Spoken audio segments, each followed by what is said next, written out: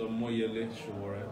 Thank you very much, sir. Um, we can see that we're here obviously for, should I say the unveiling Yes. or a briefing obviously by a new party, Yes. um, the AAC. Yes. Can you tell us a bit more about the party and the idea behind getting a new party?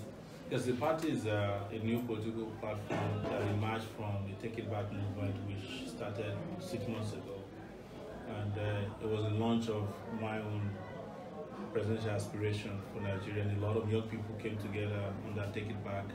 For them, they don't really like the idea of a political party because you see political parties in Nigeria as opportunistic vehicles for people who want to engage in looting of public resources. So they came on our platform, and at a point, we decided to talk to other political parties and found that uh, a lot of them have a very interesting mix of uh, leadership and also manifesto an agenda that don't necessarily conform with ours. So we quietly decided to register a brand new political party uh, to have an African feel to it because we believe that the moment Nigeria gets it right, the continent of Africa, other African countries, we have a brother to look up to. And Nigeria has always had a foreign policy uh, perspective that is mostly about the betterment of the African continent because we're ultimately the most important African country on the continent. So that's why we put the African field to it, so that whatever is happening in Nigeria next year will immediately spread uh, across Africa and will energize, motivate other young Africans who have been looking to take over their respective countries well, by way of taking over their destiny. All right. Um, let me ask a more personal question. There's a lot going on right now in, in the country. You know, um, politicians battling these people are our leaders, the National Assembly, political parties, the campaign left, right. Um, you are coming into that scene, which many might tag as a very, very turbulent scene currently. What is your view on the current political situation There's nothing turbulent about the political situation. And what you're seeing, what is being carried out by these carpetbaggers, as we call them, is just distraction. This is how they distract the public whenever elections are coming. They create this fake, you know, crisis to make you feel like they have differences or that some of them are more grounded than others. At the end of the day, you take sides and you take sides with it's just about taking sides with you know a thief who presented himself better in the afternoon than the one who is a thief at night. Uh, you know, we know them enough. I come from a background of reporting news and political news for 12 years. This is what happens in every election cycle. They always create the impression that they're about to tear themselves into pieces, but it's not about us. It's not about Nigerian people.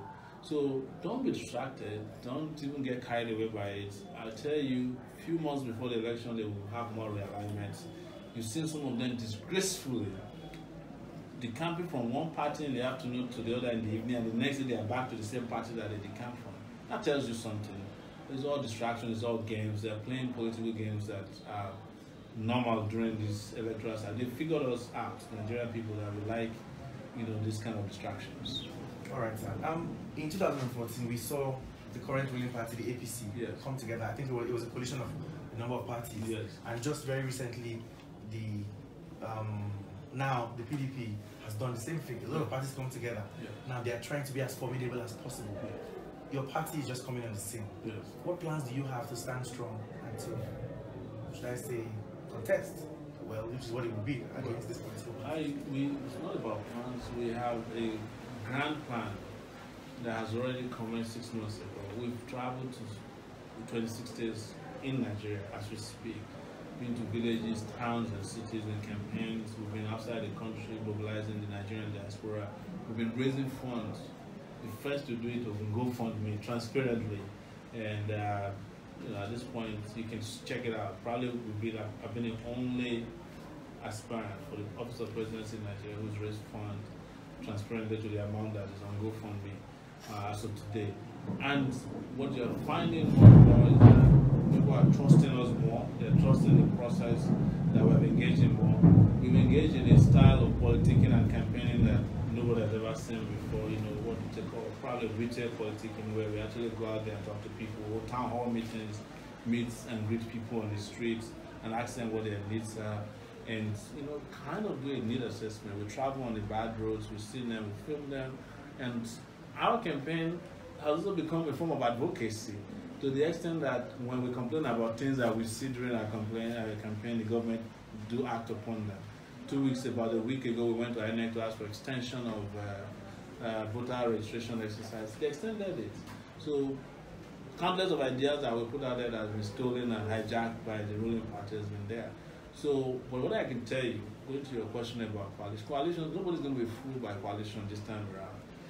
And what people want is a political party that has an agenda and that's got ideas that they can defend and engage uh, with the public about. And that's where we're coming from. And we're seeing unprecedented level of support uh, based on this very innovative style of uh, political by politicking.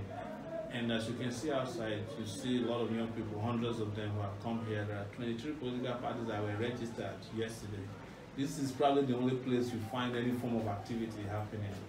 You know, you can't even find activity happening on this scale at the headquarters of the PDP or the APC. If you do, they probably hire people to come and do that.